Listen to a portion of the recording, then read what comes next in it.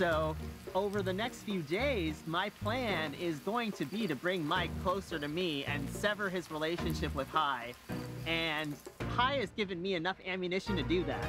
Yeah. Can I tell you what his plan is according to him to me? Yeah. Hai came to me and said, Mike will do anything I say in this game. He is my puppet at, at this game. And so that's why I was ever. I'm done. He's a liar.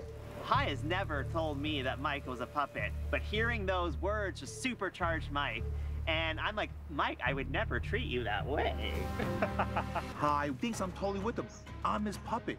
I'll do whatever he wants. This is totally gameplay, but he played me, so this is personal for me now too. well then, Survivor 42's most ingenious moves it is. Hello everybody, my name is Bandit. What are your names? Okay, don't jump to all answer at once. Today I'm going to be reviewing the ingenious moves used in the season that just ended, Survivor 42. This video will cover several ingenious moves, a bit more quickfire than my Australian Survivor Most Ingenious Moves series, but nonetheless, let's dive into the video. At number 1 we have Hai at the final 16 tribal, managing to capitalise on a cracked majority, ensuring he wins the tribal council dilemma despite being in the minority. At this tribal, it was 4 to 2 and should have been an easy elimination of Lydia, Hai's closest ally. But Mike found a beware advantage, lost his vote, and the rest of the story is as ancient as he is. So the majority still had three votes, but Chanelle was sent away to Shipwheel Island, where she risked and lost her vote as part of the dilemma. When she returns to camp, Hai instantly can tell something is up, and I think he doesn't get enough credit for labeling Chanelle as suspicious and not going through with her last minute plans to split the vote on Mike and Jenny. Had he done this, then he would have lost the vote 2 1 1 and wouldn't have appeared in this video. But Hai sticks with his original vote, causing a 2-2 tie and then a 1-1 tie at the revote. As the rules of Survivor states, we have two ties and if Hai and Daniel can't both agree on who needs to go between Jenny and Lydia, then both ladies become immune and the other four draw rocks. Here's how the situation initially plays out. I, I want to get the ball rolling by starting with the following premise. I really do not want to draw rocks. Let's hammer it out and get to a consensus so that on the very first vote in day seven, we don't put our fate in a bag of rocks. Did you catch that? The rocks discussion starts, and within seconds, Hai has won the situation because Daniel has clearly stated how afraid he is of rocks. Hai even identifies this, and so, down the line, when asked if he would change his vote, he just straight up refuses. I understand the confusion right now. I love y'all. I'm willing to draw rocks. I'm not changing my vote from Jenny. This forces a Daniel, terrified of rocks, to have the decision of, you know, going to rocks Ultimately, Daniel obviously votes out Jenny, going along with Hai and saving his closest ally in Lydia. I also like how Hai appears at this tribal, with a calm demeanour that appears to be very understanding, despite likely not actually feeling that way. Juxtapose this with Daniel throwing Shan under the bus and acting extremely chaotic. Now tell me which individual side looks more appealing to join if you're Mike. In spite of being at the bottom with Lydia, Hai and her control the next vote and make it to merge. All in all, an incredible array of skills showcased by Hai. Weaving in at 2, see what I just did there, we have Jonathan's challenge assist in the reward challenge. This comes in the insane lead he gives his Taku tribe, resulting in them obtaining one of the biggest challenge blowouts in Survivor history, and his tribe honestly wins one of the better rewards with 10 massive fish. In this challenge, Jonathan just takes control and tells the tribe from his perspective where both Lindsay and Omar should be moving. I know a lot of people refer to Jonathan's challenge capabilities as him just being muscular or big, but in this challenge those factors aren't much use. Rather, Jonathan showcases fantastic leadership with clear and concise commands to his tribe mates. And I can't understate how far ahead Taku get with Jonathan's help. They get through the next portions, including the basketball endgame, without either of the tribes even finishing the braid. Now that's just great strategy. We also need to discuss Tori, Romeo, and Drea coming together and putting their differences aside to eliminate a massive under the radar threat playing both sides in Swati. We've seen from seasons past, even with Tony and Winners at War, that the individual playing both sides can just pit the two sides against one another and end up at the end. But in this instance, Drea collaborates with Romeo that something seems a bit fishy. No, not Taku's reward, but she finds out Swati has been saying to everyone that they're all her closest allies. Again, quite a few people, when told by a person they're their number one, would like to keep that information to themselves. It's Survivor. Telling people your alliances only harms your position. So, while Swati's strategy plays on the meta of people keeping information to themselves, and therefore this helps her positioning, it comes apart when Drea thinks outside of the box. With Drea and Romeo working out, they're being told the same thing, they reach out to Tori who is on the bottom, and, albeit reluctantly, says yep, Swati's been saying the exact same thing to her. This causes the elimination of Swati eventually, who was a massive strategic threat and had genuine winner equity due to her strong gameplay. But shout out to Drea and Romeo.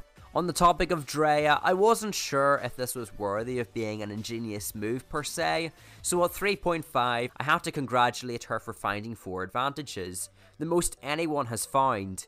I have my amulet, I have my idol, I have my extra vote, and I have my knowledge is power advantage. This is made even more impressive, considering many of her advantages required her outplaying Beware disadvantages.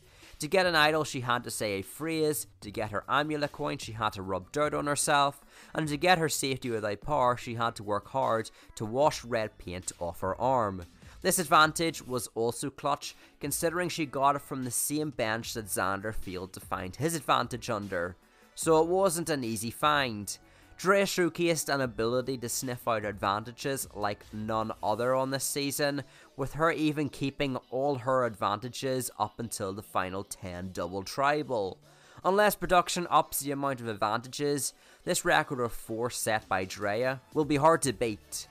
At 4 we have Maryanne, with probably the best attempt at hiding her idol with the secret phrases. Starting in Survivor 41, the regular idol was replaced by the Beware advantage, which held the players vote at ransom until all three idols were found, but they also required players to say a secret phrase. Maryanne's by far, in my opinion, was the most difficult. Like Drea's potato one was goofy, but at least she could relate it to lack of food. Mike's was about soccer, Okay, tougher, but he could still relate it to an immunity challenge. But what on earth is the bunny rabbit doing in the mailbox? Your phrase. It's another classic case of the bunny rabbit having dinner in the mailbox. What does that even mean? In 41, we saw players struggle with integrating their phrases into conversation. Broccoli is uh, grows little bunches on uh, small trees, so I feel like a little broccoli tree, I guess. Yep, that's made. Nobody suspicious, Brad. In spite of receiving this difficult phrase, however, Maryanne aces saying the phrase on three occasions. This is helped by her hyper, I'm just going to say everything in my mind mentality, but you do have to give her credit. Her saying these phrases only for the other players to assume that's just usual quirky Maryanne is very smart. Future players can learn a lot from this social skill. I want to quickly move into the merge before backtracking, but at 5 I have Omar and him completely controlling the merge, without even having a vote. Because he risked his vote alongside Chanelle, this results in him having no vote. This doesn't stop Omar, however, as he manages to save his shield and Jonathan by forming a strong bond with everyone at Merge and telling them they need to get out Lydia. Just to showcase how good Omar's social skills are, he managed to get Hai to vote out Lydia. his number one ally throughout the entire game. Now that's impressive. Now at this part of the game, there was a core 9 majority. They all knew Omar controlled the vote, however those left on the outs like Maryanne, Romeo, Chanelle and Tori assumed Omar was on the outs. This aided his strong swing position at the next round and continued the momentum of him being on top by booting Chanelle. On the topic of Chanelle, we also have to discuss her putting a vote on Mike at the Daniel boot. Now this move didn't work out, but we see Devens at the final 5 in HHH putting his vote on Mike and it saves him despite Ben having an idol. In the same vein, Chanelle puts her vote onto Mike despite Daniel who was the clear boot of the tribal. This was to outplay a shot in the dark play by Daniel, an advantage newly introduced into the season, giving a player a 1 in 6 shot at gaining immunity, but they have to sacrifice their vote. If Daniel was immune and blocked every vote at Tribal, a revote occurs where Chanelle would have undoubtedly been the second best option. So within a vacuum, Chanelle putting her vote onto Mike is the optimal move. The issue is, it doesn't consider the majority's optimal move, consisting of Hai, Lydia, and Mike, where they also have to assume Daniel successfully plays his shot in the dark, and Chanelle puts a vote on one of them. Therefore, they split the vote with Lydia and Hai putting votes on Daniel, and Mike puts his vote on Chanelle. In spite of Chanelle being outplayed, with her still being booted, had Daniel played a successful shot in the dark, mixed with Mike hypocritically getting upset at her for not putting her vote on Daniel because, you know, who else could possibly do that? But she would have been on the bottom anyway, and shows a strategy that can be expanded upon to avoid an individual getting shot in the dark.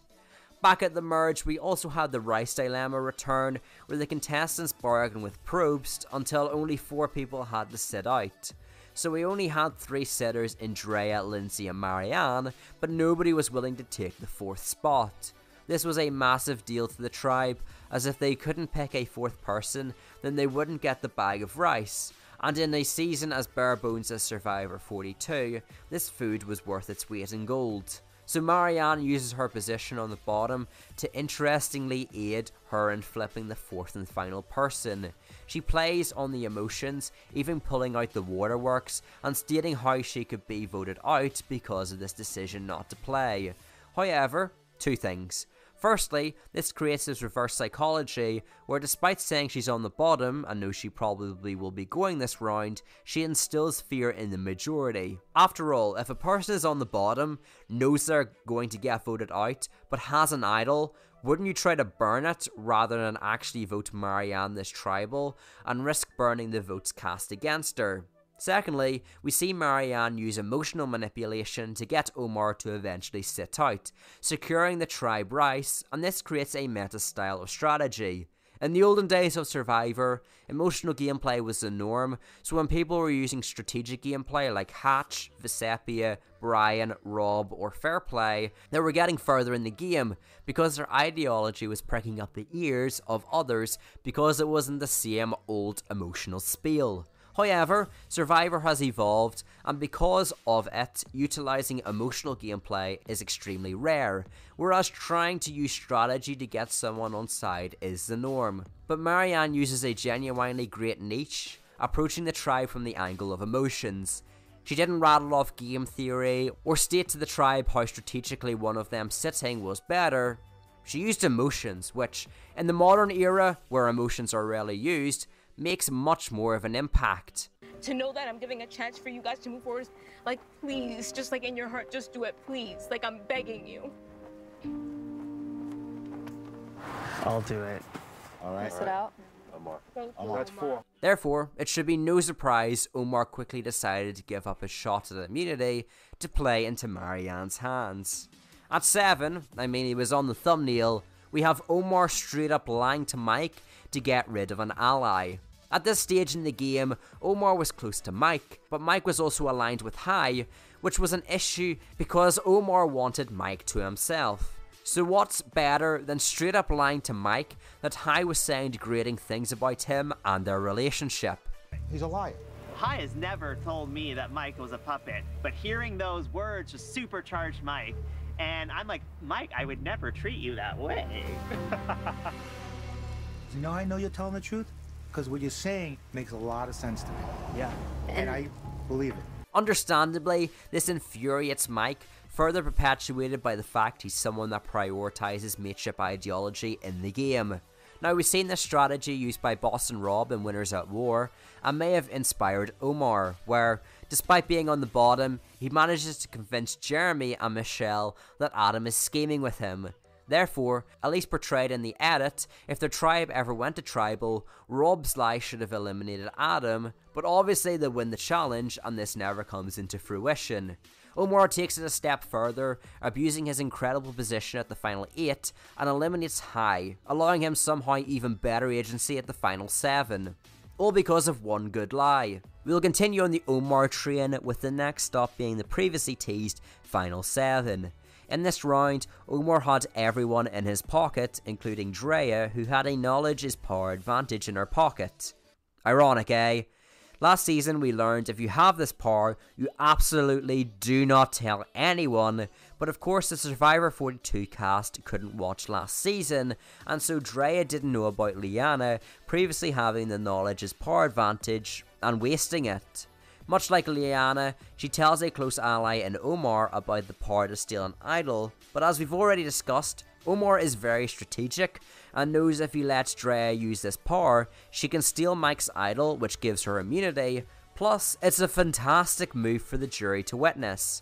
So Omar takes this information and tells Mike about Drea's advantage. Omar then formulates a plan for Mike to give him the idol, so Drea has no form of immunity, while also strengthening his bond with Mike. Unlike Xander last season, who was greatly helped in the planning process with Evie and Tiffany, this is all Omar.